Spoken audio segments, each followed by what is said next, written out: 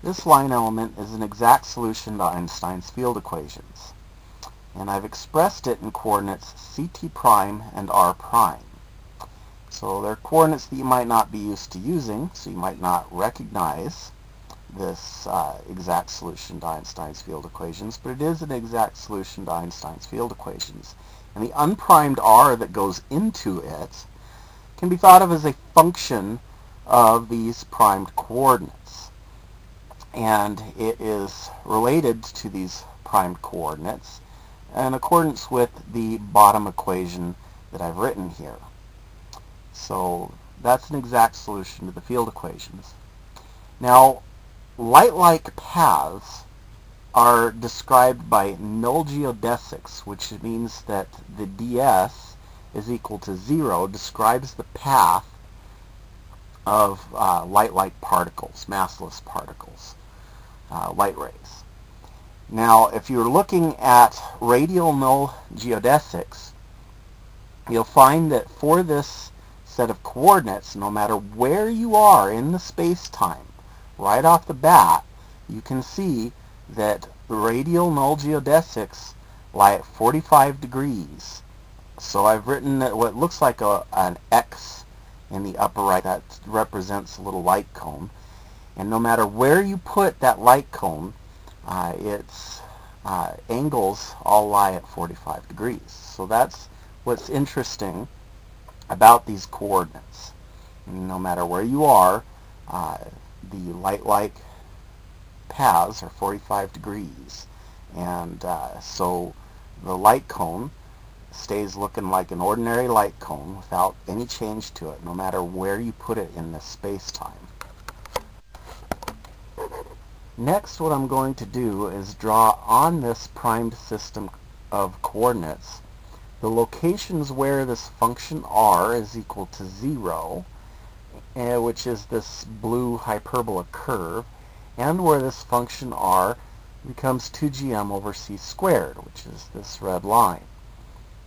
And what I want you to note is that uh, since no matter where you are in the space-time along any world line anywhere, uh, the light cones are 45 degree angle normal light cones according to this system of coordinates. There is nothing constraining any ordinary particle, any massive test mass, from uh, having its world line travel right up along this diagram right past uh, 2gm over c squared, where that function r is 2gm over c squared, right up to where that function r is equal to 0. There is nothing constraining any test particle from doing that in a totally natural way as described by these coordinates, by these primed coordinates. Now as I mentioned, this line element is an exact solution to Einstein's field equations. Off of r equals to 0, it's exactly vacuum. And now I want you to note that it has spherical symmetry. Now according to Birkhoff's theorem, if you have an exact vacuum solution to Einstein's field equations, and it has spherical symmetry, then what you have is the Schwarzschild solution. You might not recognize it in the coordinates it's being expressed as. But if it has uh, spherical symmetry, which this does, and it's exactly vacuum, then it is the Schwarzschild solution. So that means that there exists a coordinate transformation to unprimed coordinates, uh, the coordinates that you would be used to using, in which case the expression uh, for this line element becomes the standard expression that you're used to seeing. Now I've written that coordinate transformation down below. We already had part of it. I told you that r was basically a function of the primed coordinates and gave you that expression relating it.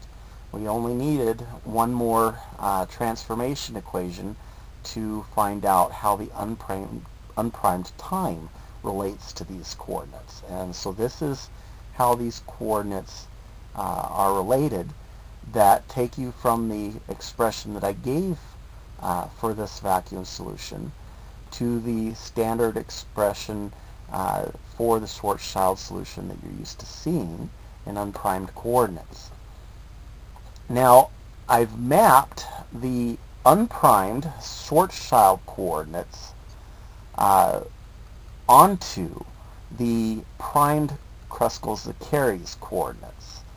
And uh, basically the blue lines on this are lines of constant Schwarzschild time. And the blue curves on this are, uh, they're hyperbolas. They are curves of constant Schwarzschild radial coordinate. And the uh, red line that I've written is the event horizon, which both corresponds to the uh, Schwarzschild radial coordinate uh, equal to 2gm over c squared and corresponds to uh, uh, the Schwarzschild time being infinitely into the future. Now the other coordinates, the prime coordinates that we were using, describe totally naturally test particles traveling up along the diagram and intersecting uh, with r equals to 0. It's the Schwarzschild coordinates that have bizarre behavior in accordance with these curves and lines uh, that describe the particle as doing something strange. Uh, that red line again is the event horizon which is in the infinite future of Schwarzschild coordinates. So it's the Schwarzschild coordinates that are uh, describing uh, physics in a rather unnatural way, so to speak, when you get near the horizon. The other coordinates, the prime coordinates, describe nature uh, around the event horizon in a totally natural way. Uh, the Schwarzschild the coordinates are doing something bizarre, and you can see immediately in the line element as expressed in Schwarzschild coordinates that they are doing something bizarre because you can see that this dr squared over 1 minus 2gm over rc squared term diverges as you approach the uh, red line, the r is equal to 2gm over c squared. There's nothing physically singular there. There's nothing physically stopping test masses from traveling across all the way through. It is a coordinate singularity that shows up in this expression for the line element because you're using oddball coordinates for describing that location. Now it turns out that when you have space-time curvature, uh, there does not exist any globally rectilinear coordinates. You can describe anywhere you want, you can find locally rectilinear coordinates, but somewhere in that space-time, those coordinates are, are going to look bizarre to you because uh, the space-time curvature does not allow those coordinates to be globally rectilinear. And this is the case of the Schwarzschild uh, solution.